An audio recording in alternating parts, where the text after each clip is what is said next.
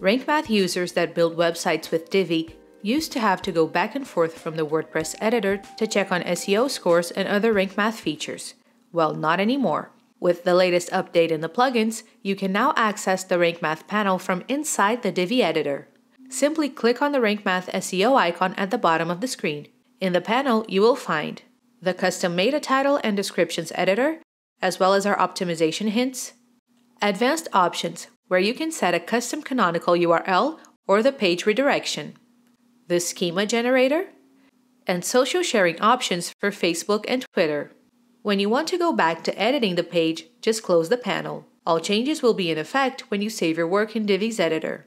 RankMath Pro also allows you to enable FAQ schema in Divi's accordion module. There's nothing extra to install or configure. Just update the plugins and the features will be ready to use with the Divi theme.